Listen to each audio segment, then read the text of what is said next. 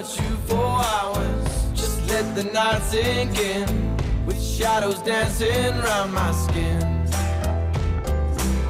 Some people call them nightmares. I'd say my mind's astray. Whenever darkness clouds my days. But I'm not alone. Let the sun shine in. Don't get lost, don't give in. So let the sun shine in. So let's go walking in the sand. Don't let time slip through your hand. Yes, I've been in love before, but this golden, that's for sure. It's gold, it's gold. Harmonize your feelings, keep holding on, my reeling, falling like dominoes, facing up to the sky, looking out for a sign. Gloomy clouds won't part, by the heart. This is gold, you know, 'cause we've seen gold before. I found the treasure, now I got.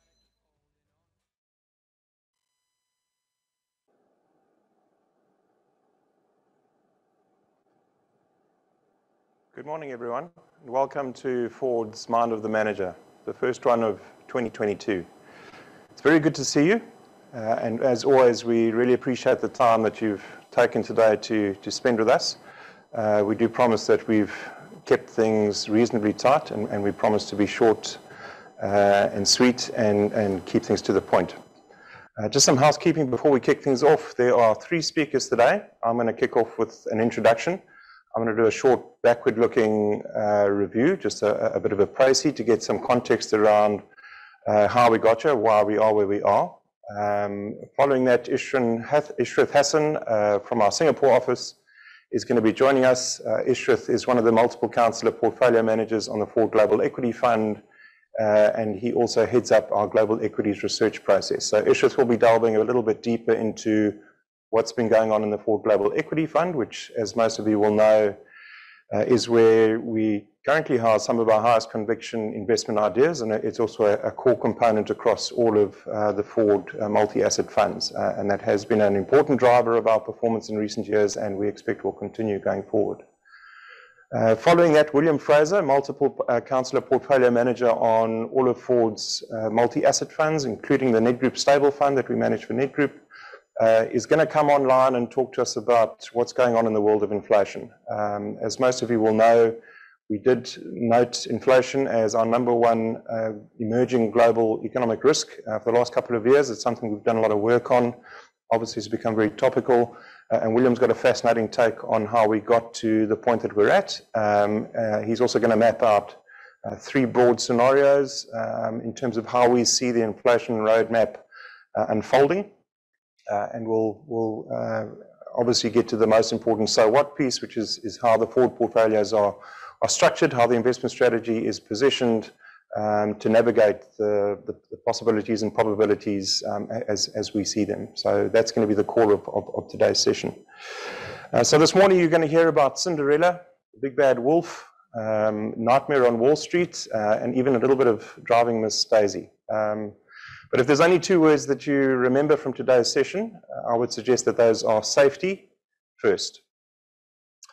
Um, so, as always, please remember to post your questions to the Q&A uh, uh, box um, on, the, on the Zoom call. Uh, we will have a nice amount of time towards the end to, to cover off on those in the Q&A. Um, and any that we don't get to today, we, will, we will answer subsequently in, written form. So please, please don't be shy, fire away. We'll have a good 15 minutes towards the end to, cover off on those. So before we get stuck into it, I wanted to just go back to around 2010 for no particular reason, and it's probably the last time South Africa felt really good about itself during the World Cup. Um, as you've often seen on our banners, we, we like to think in years and comprehend in decades, and, not just for the sake of it. There's, there's good reason. We think it's essential to do that in order to get a proper feel for, what the underlying currents uh, in, markets and the world economy um, uh, is doing. So if we go back to 2010, uh, the S&P 500 index was at around 1,100. We're at about 4,500 today, roughly. Uh, the FTSE JSE All-Share Index um, was down at about 27,500, and we're at around 75,000 uh, today. the U.S. national debt pile was around $10 trillion. We are uh, just over 30 trillion today and counting. South Africa's debt to GDP was uh, down in the 30%, low 30%, and we are likely to hit 80% in, the years ahead, uh, if not sooner.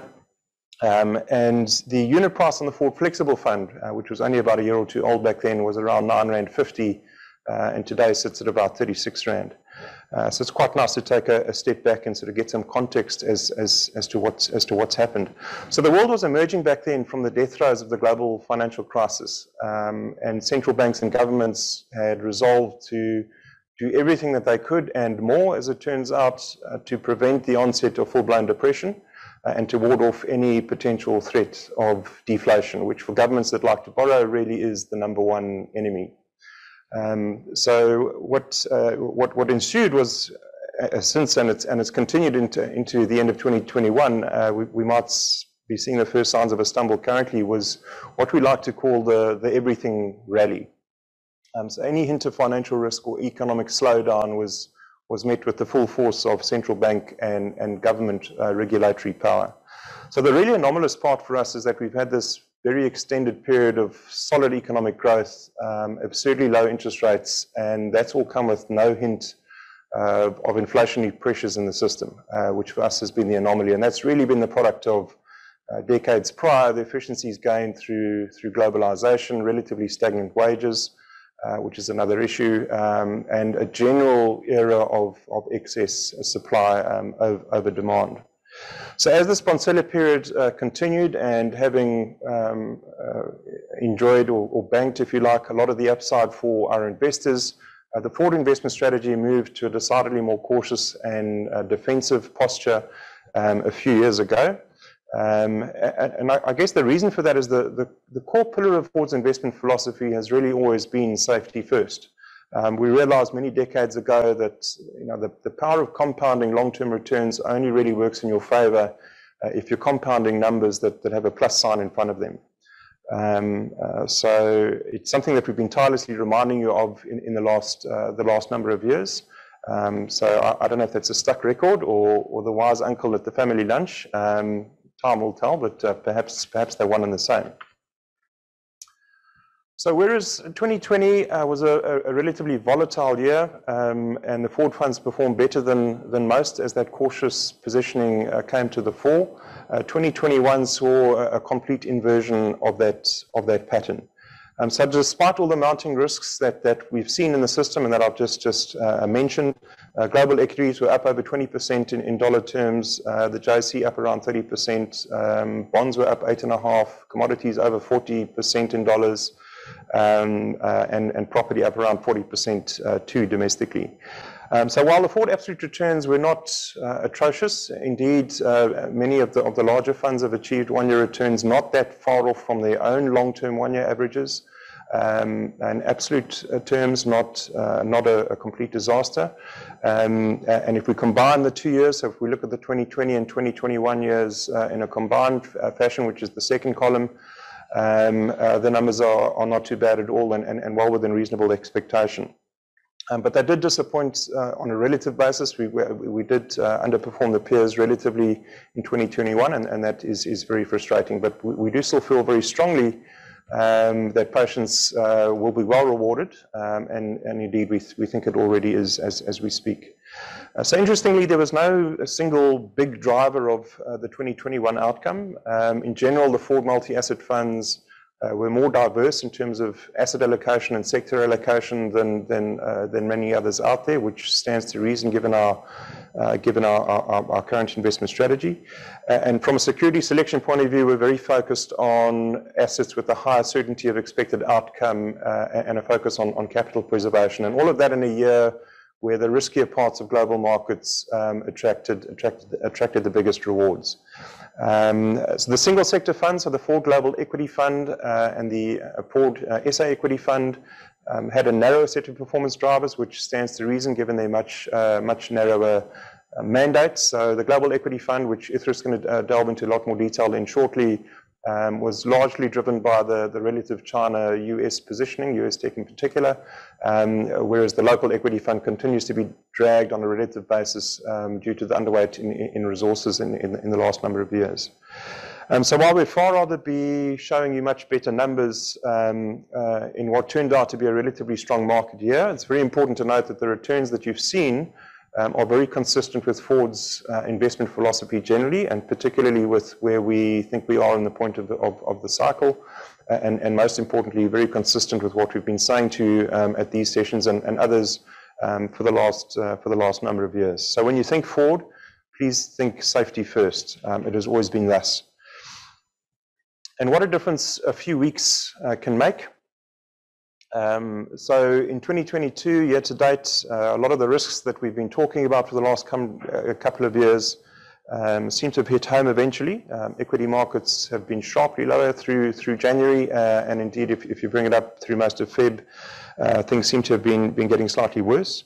Ishrath and William are gonna delve into these these themes and events in more detail in a moment. But suffice to say for now, that what we've seen in 2022 allows us to demonstrate to you today Um, why we are positioned um, the way that we are. Uh, so these are what we call box and whisker charts. Um, and they essentially show the two Foord Global funds. The Global Equity Fund is the one on on uh, on the left. Uh, the Foord International Fund is the one on the right. The two boxes that you see right in the middle of each data set is essentially the second and third quartile of each fund's respective global peer group. So for the Global Equity Fund, you'll see we've got Uh, just over 3,000 uh, funds are in that category. For the Foord International Fund, it's just over 400. And then it's called box and whisker because we've got the dark line at the top, which is essentially the first quartile funds uh, strung out to the top performer, right at the top of that whisker, and then the bottom quartile funds is the whisker that stretches out to the bottom of the two boxes.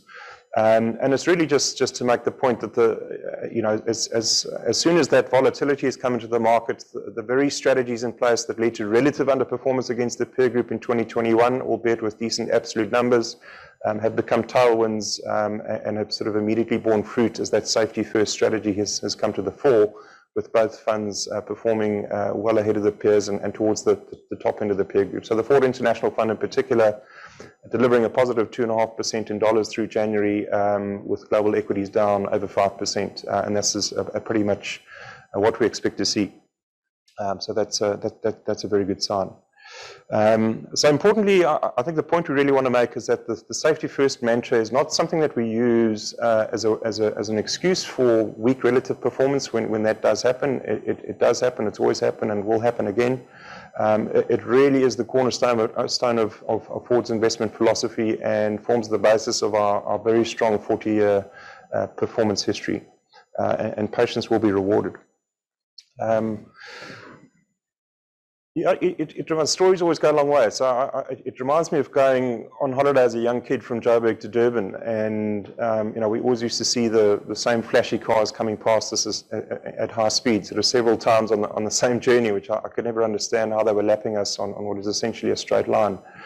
Um, we typically used to leave leave early, drive at a safe speed, stop once fairly briefly. It was a pretty pretty boring journey.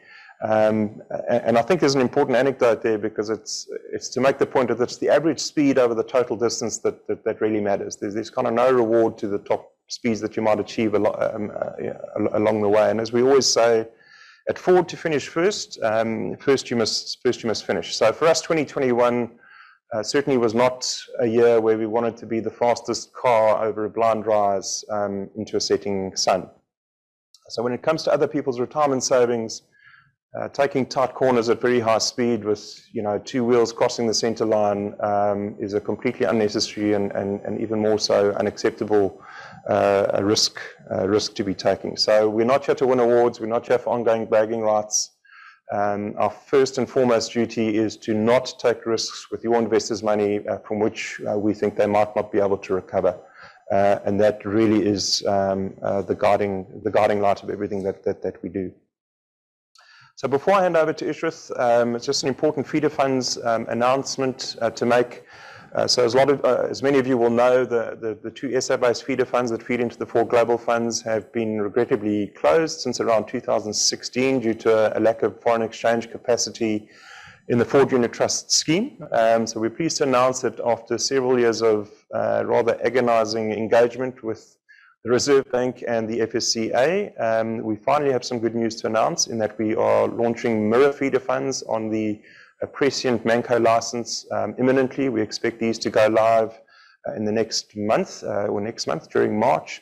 Um, so if you wish to support them in your models and solutions, which we, we certainly hope you do, um, please contact your, your platform providers and, uh, and, and let them know about it. Um, we're also in the process of engaging the major platforms to have the, the new feeders listed as soon as possible, and, and we'll, we'll, we'll keep you posted. So, so please keep an eye out for that. So that's some, some very positive news. Um, and on that note, I will, I will, I will conclude, um, noting that in, in the Chinese uh, zodiac last year was, was, the water, was the year of the water ox. Uh, 2022 is, is the year of the water tiger. Um, we think there's a, a, better than average chance that it, it, might go down in history being remembered as, as the year of the watershed uh, instead. Um, so I'll now hand over to Ishrath and, William, who will give you deeper insight um, into how we are, are, managing these risks and, and exploiting the opportunities as we see them for your investors. Over to you, Ishrath. Thank you, Nick. Hi, everyone. I'm Ishrath Hassan, one of the multi-counselors of the Foord Global Equity Fund and head of research here in Singapore. I'd like to quickly walk you through 2021 performance for the Foord Global Equity Fund and outline some of the key factors guiding our portfolio construction and risk management decisions today. Relative performance for 2021 versus the MSCI ACWI benchmark was far below what we hope to achieve for our investors over time. No doubt the relative underperformance was disappointing, but 2021 was also a highly unusual year, which I'll delve into in a moment. In terms of what we're trying to achieve for our investors, not much has really changed. We'll always strive to find value and manage risk in the highest quality manner possible.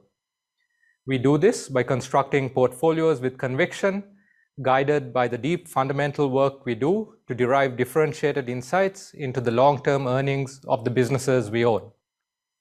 Now, there may be some years in which we underperform the so-called benchmark, given a very different perception of earnings versus the market. This was the case with many of our stocks in 2021 and remains so today. As many of you already know, valuations in segments of the market reached exuberant levels over the past 12 months, and we chose to prioritize managing risk through buying into future earning streams at fractions of their true worth versus following expensive momentum stocks which is evident in both the names we hold and our very different portfolio construction versus the market or benchmark. So let's take a quick look at the state of the market, why we're cautious, and our major holdings, which should give you a good sense for this embedded margin of safety in our portfolio. 2021 was a highly unusual year to say the least emerging from a COVID distorted 2020, where the developed world and particularly the United States was flooded with liquidity in the form of unprecedented money printing and stimulus checks, which increased the total dollars in circulation by more than a historic 30%. To put that into perspective, that was far more than the money printed during the financial, uh, financial crisis and the Great Depression combined. All this resulted in a wonky market environment where earnings fundamentals had little to do with stock price performance, which was evident, which was evident in the many bubbles we've seen from cryptocurrencies to NFTs to new energy businesses to SaaS stocks, SPACs, IPOs, and many other speculative assets. It's truly been a bubble of everything, or at least the most ridiculous things. This environment has led to US market valuations approaching levels only seen three times in the past 100 years, with the last time being the dot com bubble in 2000, and we all know how that ended. The US, and particularly its technology sector, are valued extremely richly versus the rest of the world, where value is far more compelling with lower risk, which is a combination we tend to like a lot. For instance, the US market, which incidentally makes up more than 60% of our benchmark, has been held up by a very narrow group of mega stocks. The 10 largest stocks now account for 30% of the S&P 500, while the top five alone accounted for more than a third of its gains in the past 12 months. Furthermore, the, the trailing price to earnings ratio of these top 10 stocks as of December was roughly 70% higher than their average multiple over the past 25 years. and that quarter century included the tech bubble years of the late 90s. Since 1980, there have been 11 instances in which market breadth narrowed as sharply as it did in 2021, which usually indicates a very unhealthy market beneath the hood, despite what the annual performance would suggest. This level of market narrowness typically foreshadows very poor returns in subsequent periods. All this also coincides with a highly inflationary environment where the Fed must now raise interest rates far more than people expect, which is very ominous for these expensive segments of the market that are not supported by their earnings or cash flows. So how was Foord positioned against this backdrop? As many of you know, we never take zero-one positions. So within the US tech landscape, we do have sizable exposure to Google, which is our largest holding given its compelling relative value versus the rest of the pack. We also hold smaller positions in Microsoft, Netflix, and Spotify, where we've been cautiously adding into this uh, recent sell-off. However, our major variant perception from the market comes in our outsized position in Chinese technology businesses which was the biggest factor behind our relative underperformance last year. The circled parts of this table help clarify why we liked these businesses last year and why we love them today. China tech is growing faster than US tech, yet trades at a fraction of their value. What's also different is that unlike their US counterparts, the top Chinese management teams have been rampantly reinvesting their capital at very high rates of return like venture capital businesses over the past decade. And if you exclude these investments from their value, the stocks are truly trading at cents on the dollar, which is why we continue to add to them into market fears around regulation. Regulation is another area where we have a very different understanding from the market particularly relating to its impact on future earnings. The Western media portrays China's regulatory actions as anti-business, anti-profit, or anti-capitalist. But this is very different to the reality on the ground, which we've been very close to over the past decade. These uh, technology businesses have just grown too fast and expanded into so many different areas of the economy that the Chinese government simply wants to ensure that these expansions are happening in a high quality manner that also benefits society at large. They have no real intention to kill capitalism or the dynamism of the industry as is portrayed in the Western press, which has been a key reason behind recent selling pressure. China simply wants to ensure sustainable quality growth of the economy versus the unfettered growth of the past two decades, which makes perfect sense to us, particularly given the power now wielded by these technology giants even if you consider the $2.8 billion antitrust fine or common uh, prosperity initiatives in the case of Alibaba, it pales in comparison to the $5 billion fine imposed on Google in just the EU, with more likely to come. Yet in China's case, these fines have been interpreted very differently by the market, while in essence, it's the same thing. To be clear, there's also a macro slowdown underway in China, which does impact near-term earnings of these businesses. However, our analysis of how these earnings will inevitably evolve, over time suggests incredibly asymmetric risk-reward from here. Just as one is excited by the prospect of buying a dollar at 30 cents, we remain uh, incredibly excited to own these, uh, own these stocks in size today. As uh, Warren Buffett says, be fearful when others are greedy and greedy when others are fearful. Today, there's a clear dislocation between sentiment and the inevitable fundamentals in our mind, and we were positioned accordingly, which, which hurt us last year, but ultimately, as always, earnings will prevail. We're already starting to see some signs of uh, this in the recent sell-off, as China tech earnings uh, exceed very low expectations and US tech disappoints against exuberant expectations. Last year, we, we also chose to have sizable exposure to several high quality um, and extremely cheap gold and silver focused businesses like Pan American Silver and Wheaton Precious Metals, both of which provide our investors with uh, excellent insurance policy against infl inflation or a market shock, but both of which underperformed in 2021. As with most, most insurance policies, we hope we don't have to collect on a new crisis. But even in the event of rampant inflation like today, our investors should benefit handsomely from these positions. Whatever the scenario, these businesses provide us with exceptional value and strong cash returns, even at spot metal prices. So to conclude, while the 2021 underperformance was clearly disappointing, our portfolio has tremendous value and margin of safety embedded in it. And as the gap between our analysis of earnings and the market's unfounded sentiment is resolved over time, the global equity fund should benefit tremendously, both on an absolute and relative basis. With that, thank you for joining us today. It's been a privilege and honor to serve our investors through these tricky times. And uh, I'd be delighted to go through our stocks and portfolio construction in greater detail anytime. And with that, uh, hand it over to you, William. Thank you, Idris. My name is William Fraser, and I'm one of the multi-counselor portfolio managers on the multi-asset portfolios in South Africa. The title of my presentation on global inflation is Fairy Tales. Our fairy tales are stories that's based on folklore or myth. It's also, also trite to say that fairy tale endings seldom come to pass. Fairy tales also include cautionary tales that warn readers about the danger, dangers that are often ignored at uh, great cost to the reader. The inflation story that I will tell is definitely real.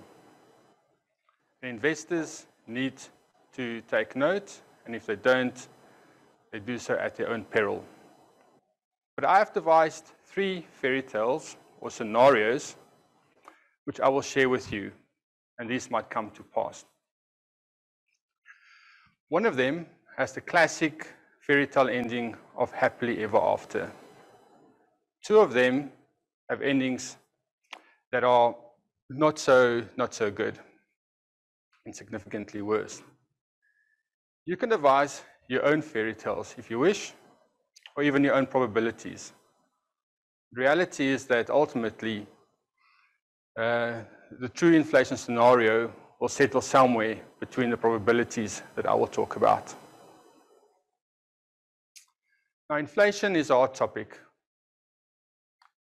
In this chart, I show you the most recent inflation numbers of both developed market economies and also emerging market economies. Those areas that is shaded in red shows periods of hot inflation or fast inflation, and those in green, more slower inflation. It is very clear in the slide that developed economies are in a process or in a phase of a synchronized inflation cycle. Interestingly enough, emerging market economies have inflation that is not as significant as it has been in the past, in particular if you compare it to the late 1990s. But it is picking up. The question we have to ask ourselves is, how did we get to this point? Now, when COVID lockdowns shut uh, economies, the governments responded with fiscal support to both households and businesses. That free money was used to buy goods. To put it in context, the fiscal support totaled $17 trillion or 16% of GDP. Now, what's clear in this chart is that the retail sales in the US increased at a significantly faster pace post-COVID compared to the decade before. It's roughly 10% per annum compared to 4% per annum in the prior, uh, prior decade. And history has told us that periods of significant increases in either money supply or disposable income is characterized by relatively fast inflation. Now, while the world has gone on a shopping spree, most factories around the world shut down. And we can see in this chart that there is a significant correlation between all the pressures in the global supply chain and global inflation. So how did we get here? To answer it in relatively simple terms, demand increased significantly, but supply shrunk, and that put an upward pressure on prices. Now, governments have started to rein in all the free money, but demand has remained relatively strong. Why? Why is that? On this chart, I show you in black the Federal Reserve Labor Market Conditions Index, and in red, US Employment Cost Index. The Labor Market Condition Index is just a combination of uh, 16 underlying employment indices that they put together. And what we can take from this chart is that we are in a period of a very tight labor market. The labor conditions are tight, and that's leading to an increase in the number of people that's employed. And at the same time, it is leading to higher wages for those that are employed or finding new employment opportunities. So we have more people that's employed, and they are earning more. And that is leading to a continuation of the demand that we've seen just after COVID. Now, this next slide is a very interesting chart, and I haven't really seen it anywhere else before. The Fed has not responded to the very tight labor market, and that is different from the past. The shaded areas I show are periods where the labor market condition index is above zero and rising. In other words, the labor market is growing faster than it has through a normal cycle. Historically, the Fed has started to tighten policy when this labor market, labor market condition index moved above zero. But because the Fed thought that inflation was going to be temporary, they held back on increasing interest rates. What really struck me from looking at this chart is the fear or the concern that the Fed may make two mistakes in a very short space of time. Number one, they didn't hike rates when they were meant to. And number two, they may continue to hike interest rates at a time when the labor market starts to lose momentum. Because you'll notice on this chart as well that unlike um, what might happen in the new cycle. In previous cycles, the Fed ceased increasing interest rates when the labor market started to lose momentum. That's something that they haven't done before, as I've mentioned. Now, executives definitely do not believe that the inflation that we see today is transitory. We can see from the responses of executives in a conference board survey that the majority believe that they are facing a significant upward pressure on input costs. Secondly, most of them also believe that this increase in uh, input cost is not a short-term phenomenon. Most of them believe that the pressure is going to increase, inc the pressure is going to carry on well into 2023 and possibly beyond end 2023. So what are executives doing about this pressure of input costs? Most of them want to cut costs, but that is very difficult to do when you consider that the top three pressures they're seeing is supply bottlenecks, labor shortages, and energy prices. And very soon, uh, interest expense on the income statement. It is very difficult to cut costs when the things that's increasing is out of your control. It's more likely that the majority of businesses will want to pass on the increases downstream to their own customers. Now, given the lack of alternatives other than to increase prices, inflation expectations are on the move. Inflation expectations as we know, can feed on themselves, as does inflation. We in SA are very, very familiar with this process. Now, the Fed will be extremely concerned about this upward trajectory of inflation expectations, given that price stability is one of their core mandates. The Fed cannot afford for inflation expectations to stay elevated for too long. So we all know that interest rates are on the rise. The question that we need to ask ourselves, well, there's many. The questions are, is the expected change in interest rates priced into the market? Number two, what are the probabilities of interest rate increases moving in a direction other than what the market is pricing in? And number three, how will investors react to a different path of interest rates compared to current market expectations? And we all know that the market gets it wrong. They either over or underestimate the future path of interest rate increases. Note how in this chart, the market always underestimates uh, the expected increases in the Fed funds rate, and they only catch up as interest rate moves higher. For a long time, the market believed the Fed.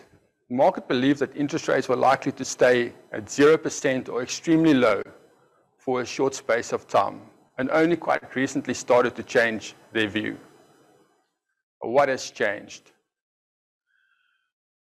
We learned quite a bit in Jan 2022, that is. Number one is that we learned the Fed changed their view on inflation and they've been, been communicating this quite actively in the marketplace. Where in the past they believed that inflation is transitory, they now are concerned about inflation becoming more endemic in the economy. Number two, we've also learned that the Fed is talking about a change in the previous trajectory of interest rates. They're talking about hiking faster, talking about not hiking only in 25 basis point increments, but in 50 basis point increments potentially. And more recently, they're talking about even hiking out of the normal meetings that set. And that will be something that hasn't happened for the last two decades. We can see on this chart that in the space of roughly five weeks, the market's expectations of interest rates, this is by the end of 2022, changed from a rate of 75 basis points to a rate of 1.75% or 175 basis points. That's an additional 1% in increases in rates that wasn't expected at uh, the end of 2021. And this, yeah, this was not expected, as I mentioned. And uh, as Nick and Ishrath have spoken about, it changed the view investors had on equity markets, on bond yields, and even on credit. Now, if inflation expectations continue to increase and the Fed talks tougher about interest rate increases, then we should expect more volatility in asset classes ranging from equities to bonds to credit and alternative assets. Now, equities is a very good long-term protector of uh, capital in real terms. But even equities do not enjoy unexpected and rising inflation. The shaded area in this chart shows periods where the last 12-month inflation number is higher than the last 10 years of inflation. In other words, it's indicating inflation that is building momentum in an economy. And in just about all these periods, one can see that the market PE has derated quite significantly. But there are many reasons for this derating. Number one is that as inflation builds momentum and interest rate increases takes hold in the economy, bond yields move higher. And because equities are priced off the bond yields in some you know, models, um, earnings yield on, on equity markets increase and that means that your PEs decline. Secondly, as interest rates move higher, generally the Fed makes the mistake of tightening too far and too much, and that kills off economic activity and economic growth. And because economic growth stalls, the earnings of companies come to a halt. There's no growth in earnings, and in many cases, earnings contract. And that's not good for equity market ratings. And typically, investors start to move out of equities well ahead of the decline in earnings. And that comes to the third point, which is momentum. So as investors start to sell out of equities, technical factors come into play and more and more sellers enter the market. And we get into the cycle of equity markets moving lower and lower.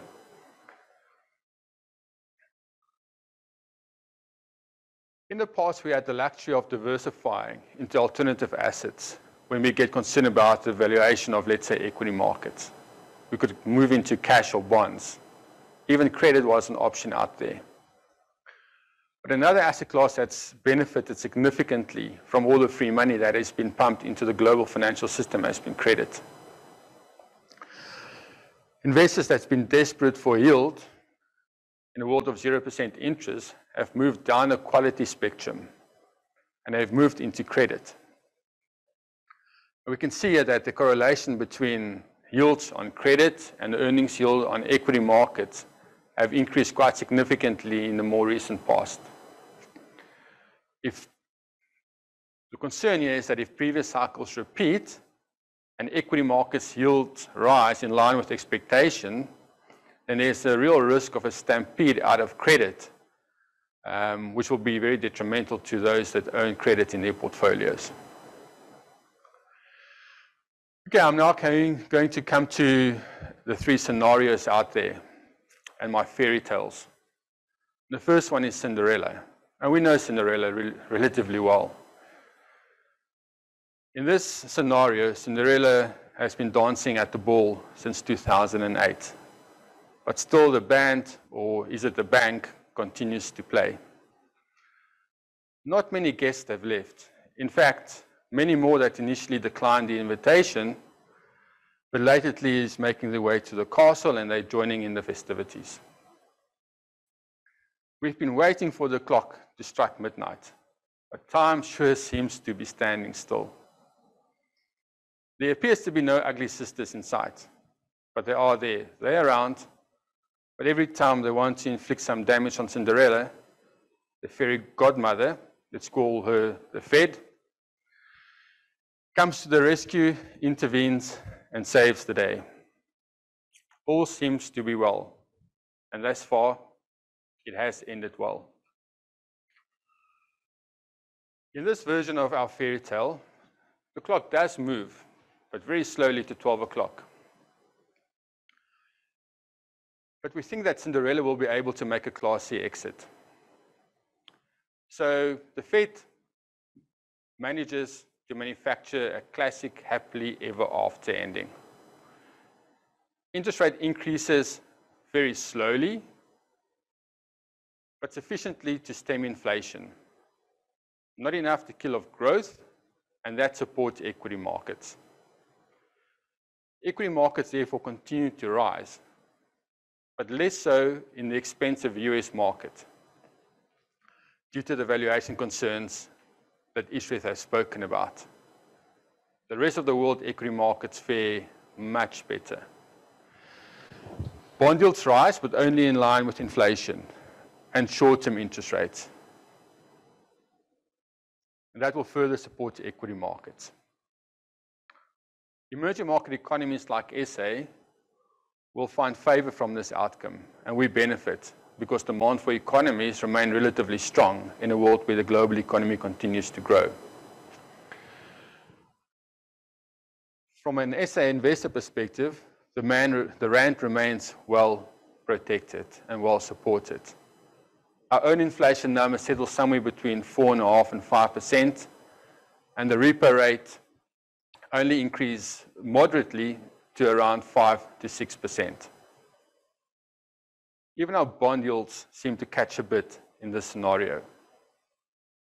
It is indeed happily ever after. The second scenario is called the big bad wolf, and you can see that I've assigned a very decent probability to this particular outcome. In this tale, the silent and sometimes invisible big bad wolf stars as a beast that at last manages to eat his fill. Unlike his much friendlier cousins that terrorizes Red Riding Hood and the three little pigs, this monster works in the dark and in the shadows, devouring life savings after the hunter fails to capture and kill him. The hunter, you see, initially was fast asleep. And when he eventually woke up, he thought that he had a lot of time to catch the wolf. Because you see, the wolf was going to take a long and winding road to get to his victim. However, the wolf, as is his wont, took the same path he always took and arrived there the same time he always has, taking his victim completely by surprise. The risk to inflation, or the risk that inflation poses to investor savings, should not be underestimated. And we assign a very high probability to an outcome where it takes the Fed some time to tame the beast. As we have seen, even equities, despite the inflation protection that's offered by earnings, suffer when inflation rises faster than expected and gather momentum. Some sectors does well because we know that the companies have pricing power. Others are far more sensitive to increases in inflation and long-term bond yields, and you want to avoid being overexposed to those businesses. For domestic investors, one wants to be invested more in non-commodity rand hedges because that's where in the past and in the future scenario, we believe the best inflation protection will be provided. Bonds offer very little protection in this scenario, given the starting yield of international bonds, and even for SA, given that our bonds are linked to global bond yields.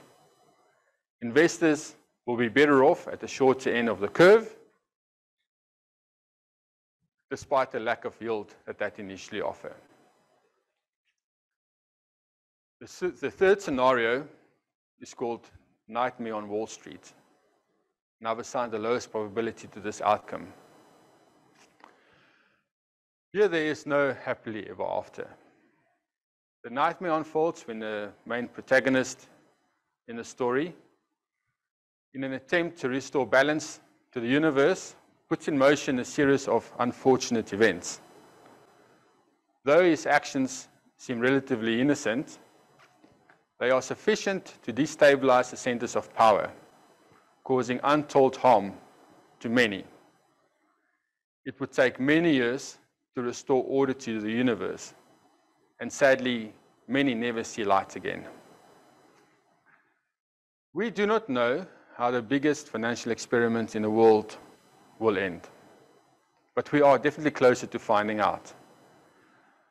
The combination of interest rate increases and quantitative tightening will suck an enormous amount of liquidity out of the global economy and the financial system. There is a distinct possibility that the financial system will not be able to cope given the enormity of the situation. The uncertainty is likely to curtail spending and investment and destroy investment and, and, uh, and confidence. Equity markets crash in line with previous post-bubble events. Bond yields plummet, as does inflation. As the great global recession unfolds, emerging markets are left in tatters. Local rand, currency, and bond yields uh, blow out, and domestic rates rise significantly from current levels. Given the scenarios, that I've painted and the probabilities that I've assigned to the different outcomes, it shouldn't really come as a surprise that we continue to favor equities to protect against the long-term risks of inflation for our investors. But we have taken some specific action to protect investors' capital in the fund. We are favoring select equities in the Foord International Fund, which is our flagship global flexible mandate, which through the ability to pass on inflationary increases through earnings, um, to protect the capital of our investors in real terms. We have a much lower allocation to the expensive US market. And we've done so by implementing a short S&P future position as a hedge against, number one, the general overvaluation of that market, but secondly, the decent and sizable allocation of expensive tech in that, uh, uh, in that index in particular. We put quite a high probability on a correction in the US, given the factors that I've mentioned. In the Foord International Fund, we continue to avoid long-dated government bonds, given the entry yields, which, after taking inflation into account, is still deeply negative. The yields are moving higher, and volatility in the bond indices are increasing uh, significantly. And that we believe will allow us to enter bond yields at much higher levels. We do continue to value the role gold can play in our portfolios. And there's a sizable allocation to the gold ETF and commodity equities uh, in the fund as well, which we believe will protect our investors' capital against increasing inflation risk in general and more specific geopolitical risks that we are seeing unfolding in uh, Crimea, Russia, and the Ukraine. For SA investors, many of the themes I've spoken about in a Foord International Fund is mirrored in the global component of the flexible mandate. And that is roughly half of the assets of the Foord, the Foord Flexible Fund. The other 50% is invested in RAND assets, the majority in equities. Of that equity allocation, only a small allocation is made in commodity businesses, which are trading at peak earnings and low multiples. Um, we should not mistake the valuation of offering good value for those businesses, given that many of the commodities are trading at very high levels compared to the past. As I've mentioned before, SA investors should favor non-commodity RAND hedges for inflation protection within their mandates. And that you can see if you look at the component that is invested in the flexible mandate that is not invested in SA Inc. businesses. The majority is sitting in non-resource RAND hedges. There is still a fair allocation to SA businesses within the Foord Flexible Fund. And we've been able to allocate quite a decent amount of our investors' capital in the last two years in many of these businesses at a time when the valuations were significantly better compared to where they are trading today. In the flexible mandate, we also continue to own a uh, decent allocation to gold for the reasons I've mentioned before. And unlike in global developed markets, we continue to hold an allocation to government bonds in the flexible mandate. This allocation has, however, been lowered quite significantly through the last couple of months, quarters in fact as bond yields initially fell, but secondly, as the risk of inflation globally to, uh, started to increase.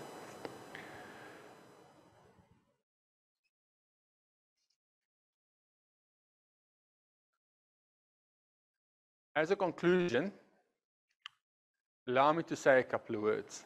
And the first is to mention that the risk that inflation poses to our investors are real. But as stewards of our investors' capital, we have to take responsibility to protect their life savings against this specific risk. We are aware that in doing so, we might miss out on some of the excess returns that's offered by the Goldilocks scenario. However, we are also not blind to the fact that many of the so-called assets or things that appeared to be beautiful today are in fact pumpkins. Rather than a beautiful coach, for example. And we are concerned that when the clock do strike 12 o'clock, does strike 12 o'clock, that the couch turn into a pumpkin and it is trampled by the horses. As responsible investors, we need to ensure that we need to leave the ballroom before the clock strikes 12 and exit while the doors are wide open. Nick, with those thoughts, I'm going to hand back over to you. Thank you, Willem, and uh, thank you, Ishrath. Uh, hopefully that's given you all a, a, good context in terms of what's happening uh, in the forward portfolios and, and helping your conversations with investors both around past performance and, and, what to expect going forward. I think just before I open to questions, uh, uh, just a couple of key comments I, I wanted to conclude with, and, and, one is that, I mean, you can see that we've got a, a higher than usual concern for risk of permanent capital loss, which, as you know, is what, what, what keeps us uh, uh, very focused through time. Um, but very importantly, you know, we're dealing with the future, and that's why we quite like the scenario approach that, that Willem's mapped out. And you'll notice probabilities attached to that. Um, you know, the future is uncertain, so um, you know our views around the folly of hiding in cash, trying to sell in and out, you know, trying to time markets. So, so even though we are using words like defensive and cautious, you will note that, that using the Foord International Fund as our sort of best view global uh, multi-asset um, absolute return uh, uh, fund. Um, you know, we still net over 50% in equities, even after a, a 23 odd percent uh, hedge on the S&P 500. So we're sort of tactically managing those market risks, and we think we're into an environment where there'll be equities and equities, um, you know, and all the way down to security level, there's going to be very disparate outcomes. So we think protection against inflation is not as simple as, as you know, hiding in cash or hiding in this asset classes versus, versus that. So that diversification is crucial, and importantly, um, that's what we do for your investors. So we're not ringing a bell. We very much are not telling you to sell out and put cash under the market in a rising inflation environment that works for might feel safe for a short period of time, but it's, is almost guaranteed to uh, capital through time. So maybe, maybe just some views on Tencent. Um, it's, it's, a large exposure effectively through the JSE. We get a lot of questions in South Africa around views on Tencent. You've talked to China Tech, but, but maybe some specific comments there. Sure. Yeah. Um, yeah. Tencent. Uh, it's. I mean, a, fantastic company. I would consider it uh, sort of a crown crown jewel um, within not just China, but but I, I, would say globally, especially given where the valuation of the business is today. Um, and I mean, what's what's special about Tencent is, I mean, there there are there are many many aspects of it, but uh, I'll I'll touch on the key ones. Uh, number one, I, I guess Tencent is probably the most sticky uh, platform that owns the entire uh, Chinese uh, user base. Uh, so that's 1.3 billion plus users uh, who use the platform incessantly on a daily basis, all day long, uh, for all their digital needs, from sort of gaming to chat to banking, financial needs, to uh, shopping or, or, or whatnot. Um, and if you compare that to, say, an Apple uh, that has a user base of a, a billion users, um, the extent to which Tencent uh, is integrated into people's lives in China is, is so extensive. Um, and their monetization of that connection with the users is, is still very much in its early stages. I mean, even if you look at sort of uh, the the uh, uh, the the financial uh, or fintech uh, aspect of it. It's it's all just getting started. Advertising is just getting started.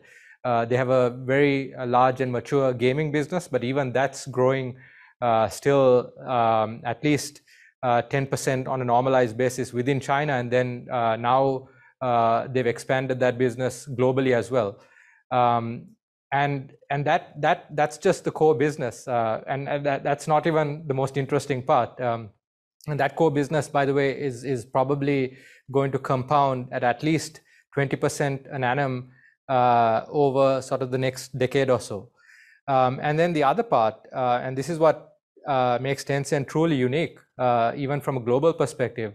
As I mentioned uh, during my presentation, these Chinese management teams, and particularly, specifically Tencent, um, have taken all the cash that they've generated over the past 10 years uh, since they've been uh, experiencing this rampant growth within the internet landscape and reinvesting all that cash in back back into uh, capitalizing on this user base and acquiring other platforms and technology businesses um, that they can then plug in and and uh, sort of participate in that success as well. So, for example, they own, uh, I mean, everything from sort of Tesla to which, which uh, incidentally they acquired sort of at the very bottom of Tesla stock price uh, maybe three years ago when they were having uh, production issues, and that that investment alone has probably uh, risen at least 20 times in the in the last uh, sort of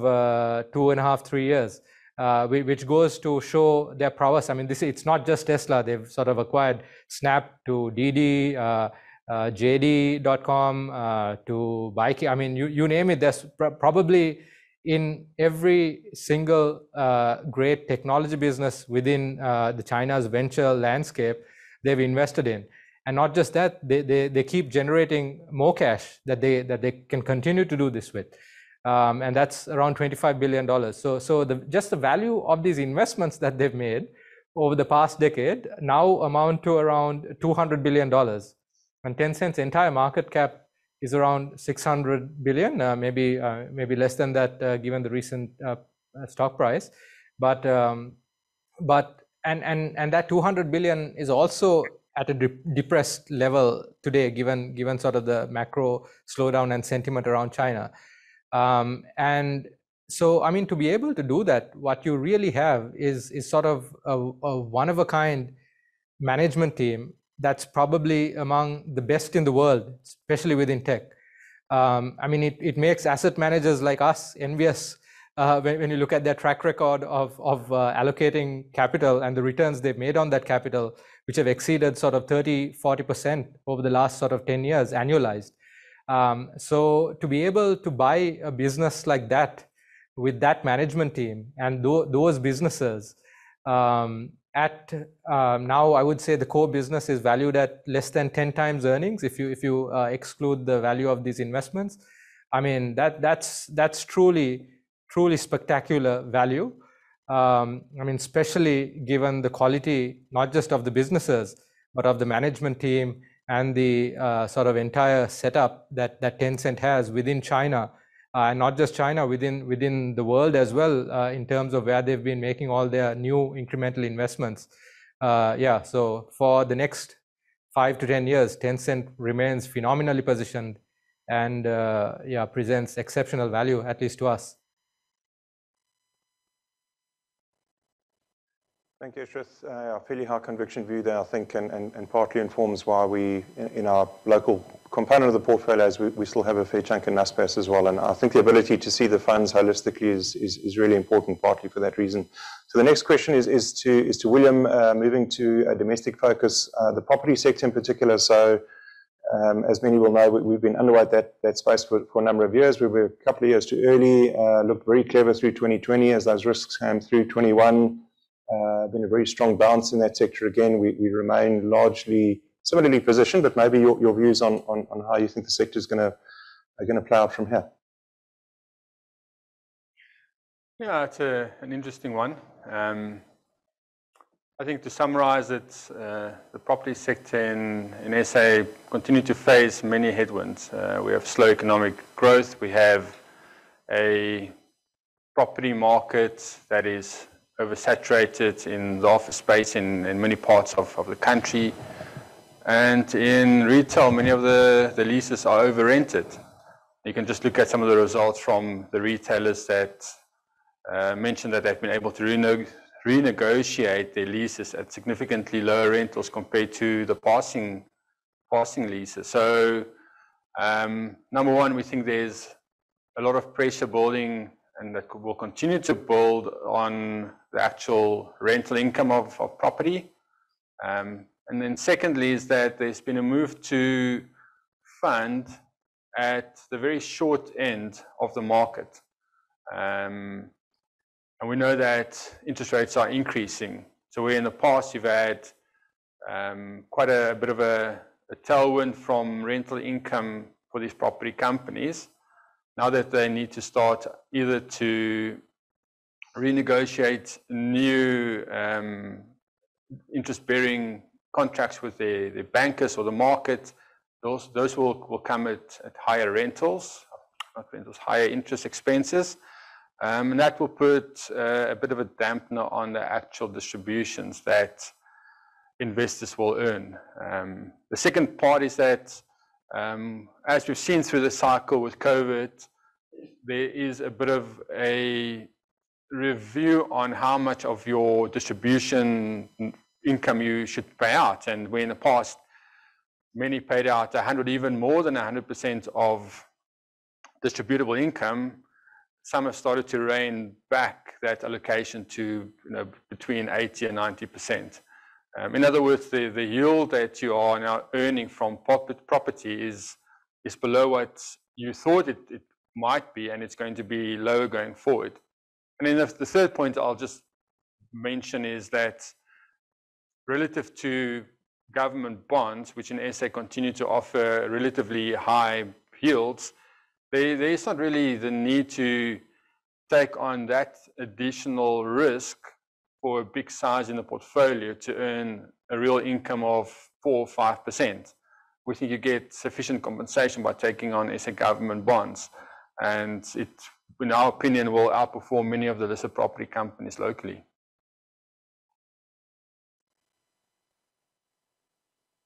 Thank you. Uh, Ishrath, uh, I think one, in, your wheelhouse, um, it was just a, question around the, the so-called energy transition, uh, the sort of bigger picture move away from fossil fuels, and uh, in particular, I know we've got a, an interesting view on, on the utility sector. Um, maybe just give us some thoughts there, please. Sure, Nick. Um, yeah, so I, I, think, I mean, that's another very interesting space uh, because I guess uh, I mean, wherever there's there's a change and disruption, there's also uh, opportunity, um, and that that's kind of how we how we look at disruption as a whole. Um, and the energy energy industry, I mean, needs to needs to change quite a bit over the next few years because uh, clearly, with with all the concerns around uh, decarbonization and and what needs to happen uh, for for those goals to be met uh, with with things like the Paris Accord um, I mean, you need, like, the world consumes most of its energy today in the form of uh, molecules. And what needs to now happen is that this energy needs to go from, from, from being in the form of molecules to, to electrons. So, um, I mean, I mean, taking you take Europe for example, 80% of the energy today still comes from uh, fossil fuels like oil, gas, coal, uh, or, or whatnot. Um, and if they are to achieve their decarbonization goals over the next sort of 10, 20 years, that needs to move from 80% to 50%. And the, uh, the, the, energy derived from electrons uh, or electrification needs to go from 20 to 50%. Um, and, and obviously all that energy also needs to come in the form of renewable uh, electricity as well um, which which the current uh, sort of environment is not at all positioned to provide.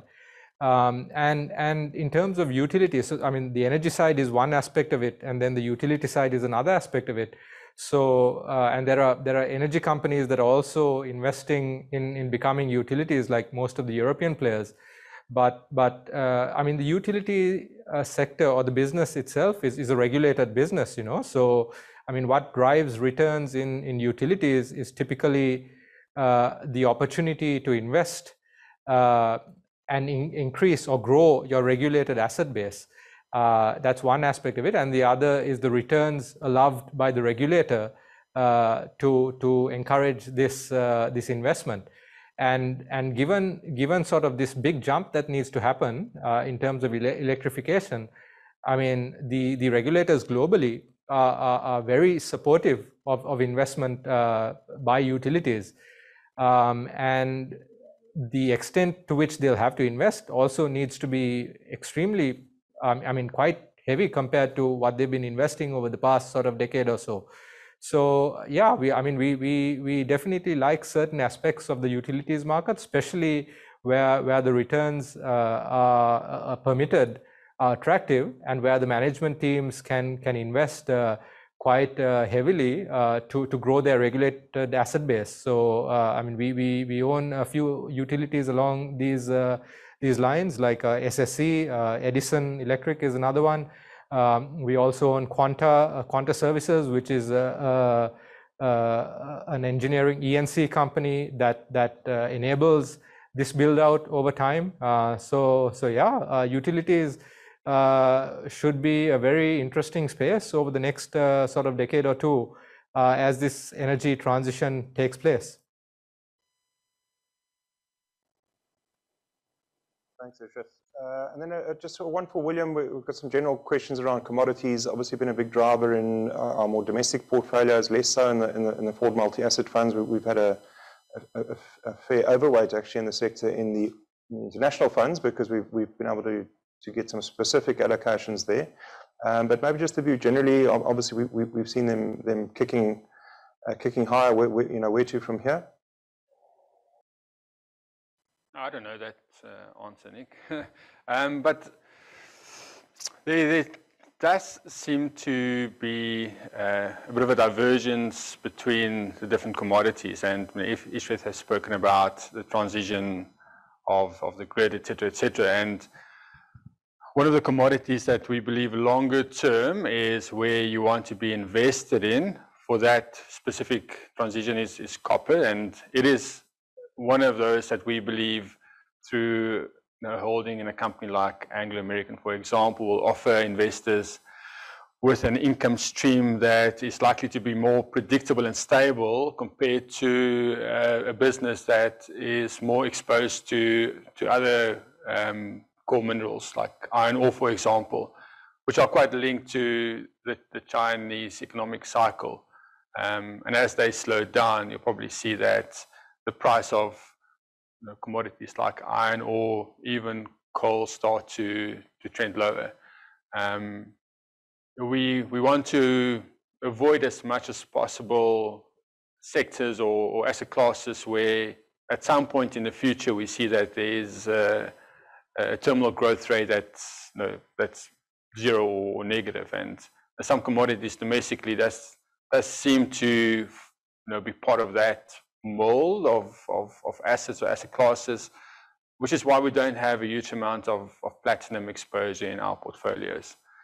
Um, gold we, we like, as I've mentioned, because of the protection against inflation exceeding expectations. Uh, it doesn't, gold doesn't do well in all inflation cycles, but when inflation does exceed expectations and builds momentum, it, seems to, to do well. Um, we're also not blind to the fact that all this free money that has been created by central banks has made its way into asset classes like commodities as well. And you know, when there is a pullback in liquidity and economies start to slow down as they're starting to reassess what what low liquidity levels mean, um, you'll probably find that many of those industrial commodities outside of copper do not do as well as what you would have expected. Thanks, Willem. Uh, yeah, all, all, our talk about nursery rhymes this morning, we we seem to have a, revenge by the musicals being struck by the sounds of silence for a moment uh, during my rap. So I, I, just wanted to repeat some of some of the, the quick comments um, before we before we close out, just aware of the time. Um, I, I, was just saying that uh, although we've, we've mapped out some a couple of fairly scary scenarios, that you know the the message certainly isn't to, you know, to try and time the markets, uh, go to cash. There are some scenarios where, where, where cash would certainly will win in the, in, in, the near term, but I think you, you're well aware of our views of the folly of trying to time markets, um, and certainly in a rising inflation market, uh, inflation environment, we, don't think that that's a, long-term home for, long-term savings. Um, so even though we have, we, you know, we, we have a cautious stroke defensive position in place, you'll notice in the Foord International Fund as, the one that Willem finished up on, um, you know, we, we, still have a net long equity exposure there of over 50%. Um, that's after the, the 20 plus percent hedge on the, S&P 500, which, is mostly through, futures. So those are risks that we are, managing tactically, um, this really is where, where, you know, where managers like ourselves um, truly do earn their stripes. So, you know, this is, where you'll see our portfolio managers sort of skipping around the office because it's, where we see maximum opportunity and, maximum opportunity to, justify existence in, terms of risk management for, your investors. So I'm aware of the time. Um, we, we, are very grateful that you have uh, joined us and, stayed on for as long as you have. Um, any questions that we haven't been able to get to, we will uh, come back to you um, um, specifically uh, post, the, session.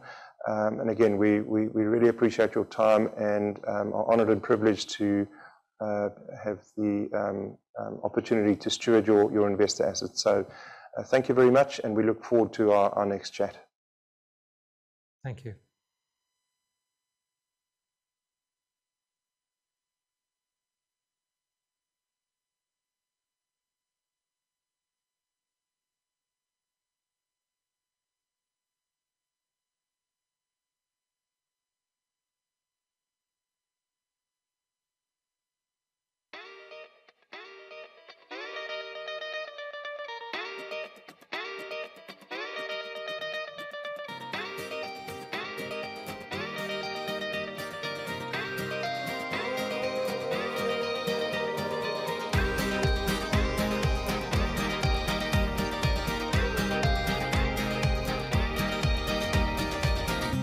Been warm and I've been cold. It's been drifting in my bones. It's been a long, long year.